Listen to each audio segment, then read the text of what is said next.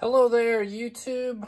Welcome back. We are, we just got a lineup here of all of these different skulls. We got a mug.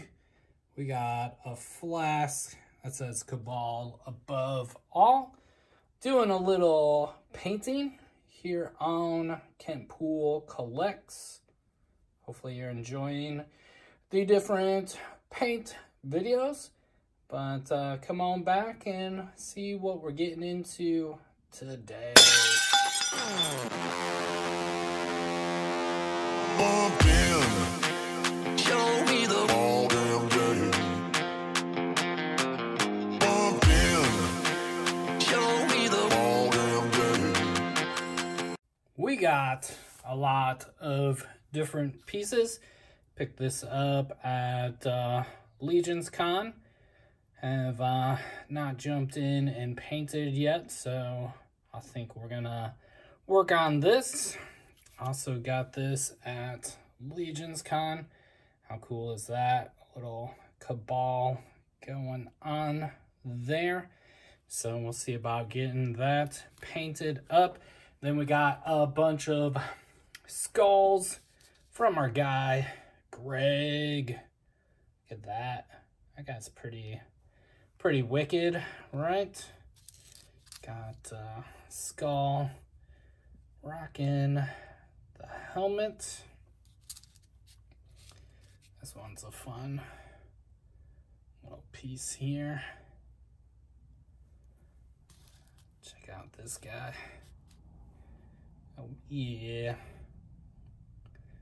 Little skull, horns. About yelling that guy's excited. Got this, uh, I don't know, it's like maybe a dragon skull. Kind of cool. Different look. Got like a ogre, ogre, orc style there. Little, uh, some strong teeth going on. And then we got uh, some of our basic skeletons that uh, we've painted in the past. So quite a few skulls. Uh, the easy way to uh, do up the skulls, they actually have our uh, base Wraithbone where you can get it as a spray and uh, knock those out. Perfect for like speed painting, doing uh, kind of army building, especially if you're doing like Warhammer and that kind of stuff at that smaller scale. But uh, I got quite a bit of Wraithbone here. I got some time to do some painting, so I'll probably not go the spray route, especially because I don't have any spray currently. And uh, I don't know, by the time Amazon delivered it, I can already have these painted up and use up some of this older paint. But I think I'm going to start with this and start with this little one. And I think I do want to prime these. So I'm to get these hit with some prime. And let's get the painting started. We are back and you can see priming done. We got all of our little bone wrath. We got our prime. This wasn't too bad. Uh, probably had to spray twice. I feel like there's always one or two spots that uh, I kind of miss. So some painting fun, some uh, army building going on here. All these skulls, right? All the skulls. So we got four, seven, eight, nine, whew, ten. And again, this would have been a lot easier with uh, just the spray paint, but I had a ton of paint left over and decided to hit them all, right? Hit them all. So I'm gonna try our little piece here. I've been having a lot of fun recently with this Stormhost Silver. So we're gonna try some of that. What I'm thinking is we're gonna go over it with the silver and then maybe come back and dry brush a red to kind of finish the piece off.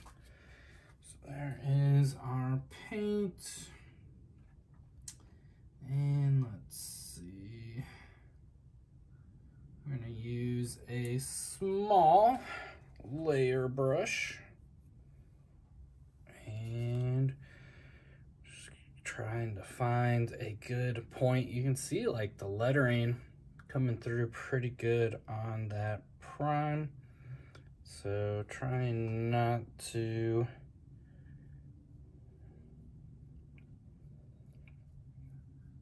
just kind of giving it a good layer. This might be one of those things where I might have to come back and maybe do a second layer but I think that's pretty cool for our flask.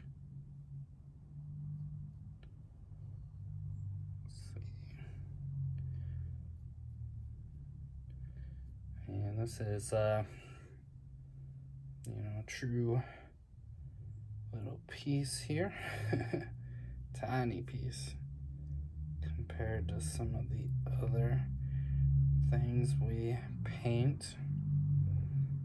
But yeah, I think the dry brush will be a lot of fun. So I'm gonna let that little bit dry so we can kind of handle and move around. So that takes up that. Let me go rinse off my brush because I don't know, for whatever reason, I don't just have like a cup and wash it off on the cup and dry it off. It'd probably make things easier and uh, it'd be less me running around, but my method seems to keep my brushes in pretty good shape. So that's the most important thing, right? Cleaned out our brush. We're gonna use our other layering brush and this time we're gonna start working on our cup. And I got this uh, little dryad bark. So we'll see how that looks with our cup. And basically gonna use this on all the wood parts. Gonna make for a little darker cup, but I think the bark will uh, will look good on this piece. So yeah, just trying to hit all the wood spots. And then I'll have to decide what, uh, if we'll use the silver again, probably on this piece. Because basically you have wood and then you have almost like metal holding this cup together.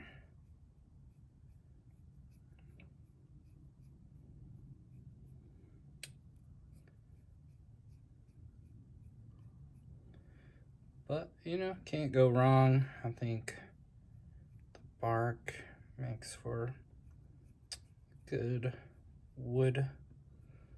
Maybe uh maybe it's darker. Maybe they're like drinking Guinness or something out of this cup. so I'm gonna go a little bit into the cup.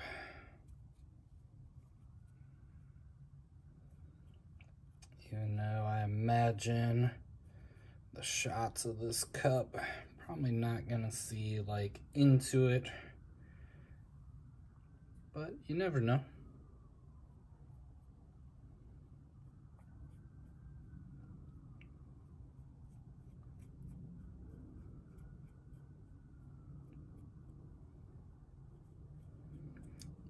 Hopefully, y'all are enjoying a little bit of painting. I have to decide what uh, I'm thinking. This is going to be just more wood out here on the handle. But yeah, I think that brown is uh, coming through pretty nice. Clearly, we got some spots uh, just try to take our time and avoid like the the wolf. I'm thinking about more of the metal look on the wolf.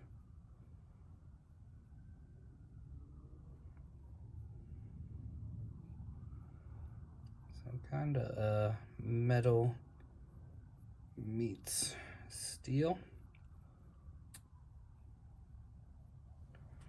So I'm gonna finish painting this up and we'll see what all the uh, wood looks like. Show you progress so far. So I feel like the brown working pretty good. Yeah, I like that. Even uh, the black prime that is left. That's kind of cool how that turned out with our bark. And then here is our Cabal flask. How cool is that?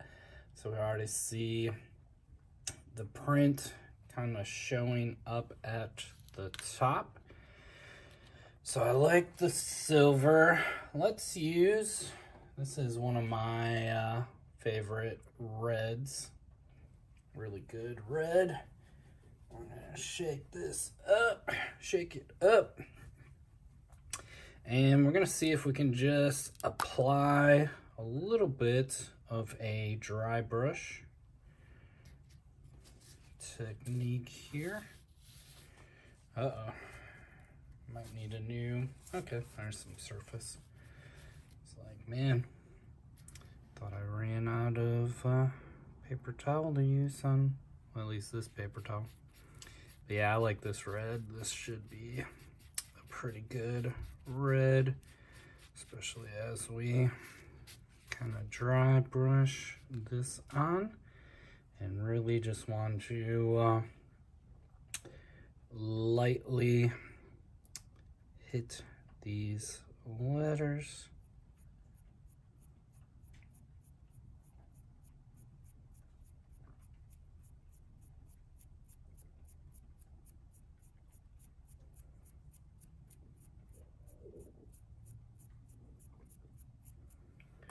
Just trying to make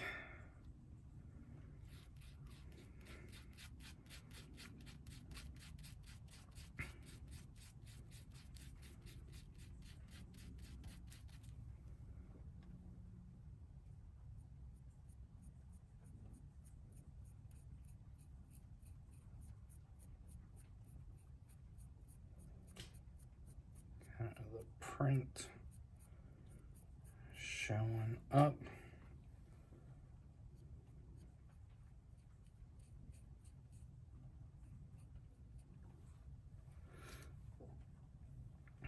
Let's see if we can get that into focus. But yeah, not bad. Let me see if I can lightly go over this once or twice more and really get those letters to uh, stick out for us. Dry brush. I don't know. Tell me how we did.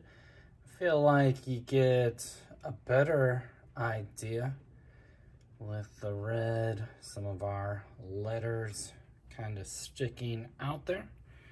So I feel pretty good about that. We're gonna go back to our cup. Excuse me. Apply our silver.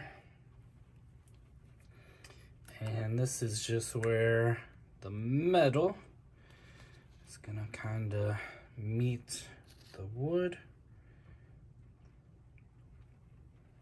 I've really, really been enjoying using the silver on some different pieces.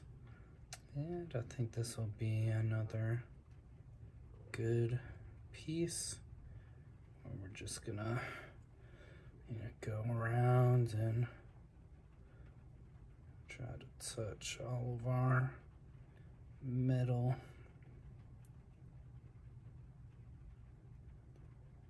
Trying not to overdo it and crash into our wood. But let me get painting because yeah not a huge surface. Let me know what y'all think. Rainy days always a great day to do some painting and i think i've shown this plenty of times plenty of times. Uh, apparently not enough to know where there it is. So got our contrast skeleton horde. Gonna shake that up real good and you'll see uh, this is almost gonna look different. Yeah nice and shake it up just a fun easy way to uh, do up some skeletons. And we're gonna use our shade brush little shade. So this is a medium shade. And all we're gonna do is get a fair amount of our shade. If you want to use a surface to kind of get a feel but this is a big old piece. So we're just gonna spread the shade out and I've talked about it before. You just kind of work out the shade. You want to make sure that you don't have like puddles. So just trying to spread it out. And as it dries you're gonna get a cool look and effect. So see how that's all puddled up. We want to spread that out. Get it in between these teeth and just making sure that uh,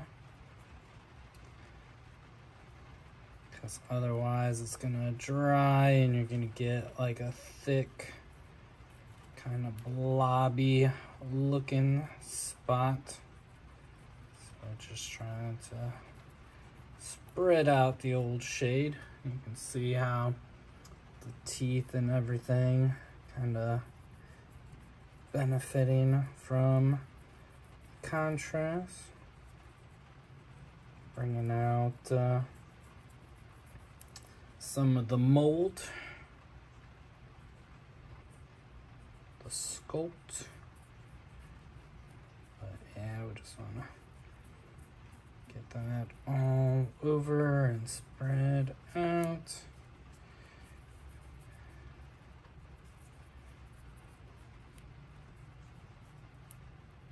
It's a fun little process.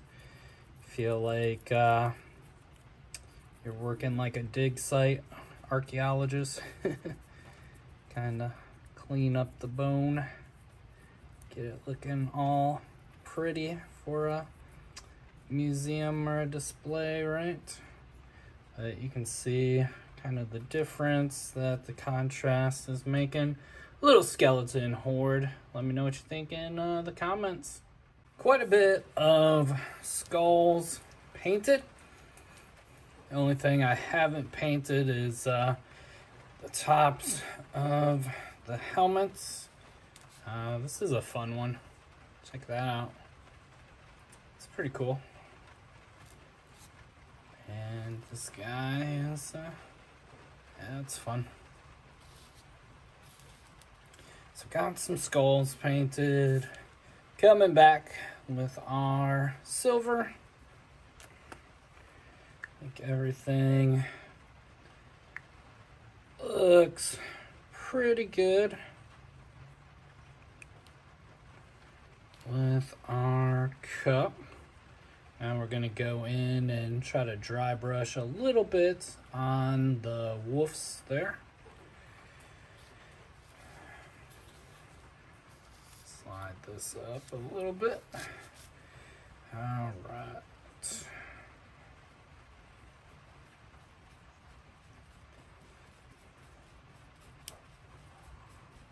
Try to finish up. And uh, if I need to, might go back and just touch up these browns a little bit. Just a thin little coat.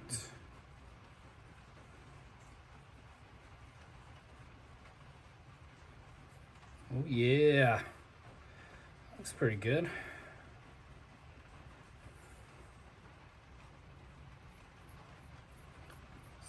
beauty of dry brushing, just using a little bit of paint, really hitting that rise woof area.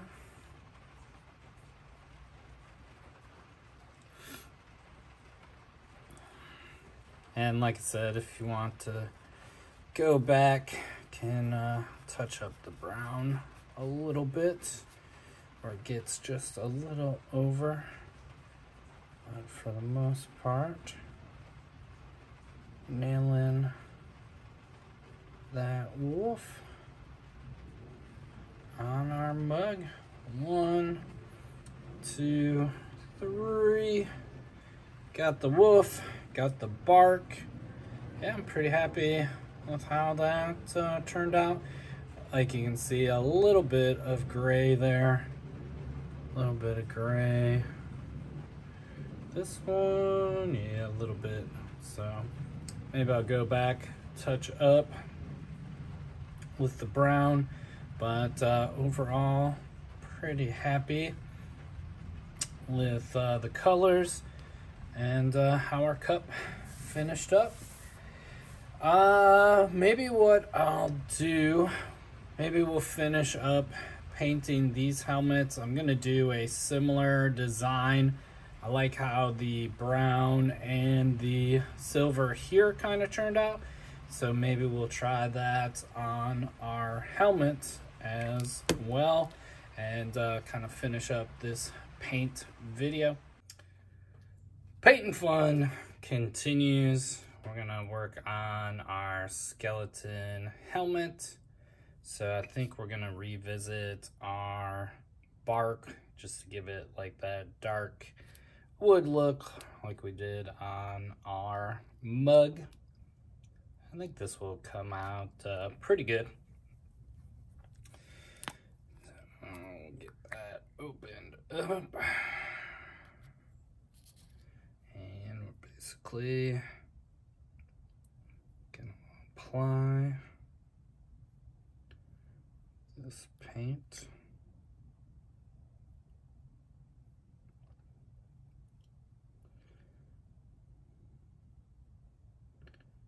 Already have a good base with the uh, Wraithbone.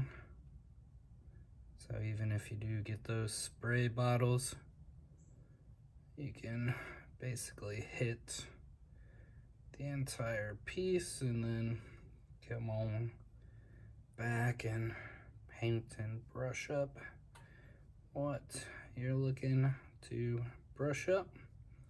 So I'm gonna hit this guy all with the brown. Uh, I haven't decided on the horns yet. I'm thinking maybe going a white just to get it looking a different than the actual skeleton. I could just do the wash and finish that way, but I decided I wanted to do it a little different. So let me get these helmets painted up and uh, we'll see what we got. All right, we are working away. You can see some of that silver going on there. I'll have to decide whether or not I want to do a second coat of the brown, but uh, the silver taken uh, very well to the helmet. Just using uh, my medium layer brush and uh, you can see just kind of hitting all of the kind of middle parts. Trying not to go into our helmet, into our brown. But uh, if a little bit of brown, like I said, I might go back and hit that with another coat. You can see where there's still some wrath bone. So it's uh, trying to cover that Wraithbone either with the silver or the brown as uh, as we're going forward on our skeleton. We got a flask. We got a Wolf King custom cup cabal flask. Check out those skeletons. Went uh, white on the horns. Look at this. Just a whole army of skeletons painted up. Couple items painted up. I hope you enjoyed this video. Smash that like button, comment, and share if you haven't already. Jump into Kentpool Collects. Uh, we're having a lot of fun painting, doing some different stuff here to uh, finish up the year in 23. Let me know which one is your favorite skull. We got tons of skulls, tons of skulls. But, uh, you know, just doing some different thing, things with uh, the paints, the contrasts, and uh, using some brushes that uh, help us knock out what we're looking to do. Thanks for all your support. Thank you to our channel members for being channel members here on YouTube. More pictures over on Instagram. Until next time, always be hunting. And if you can't be hunting, have fun collecting.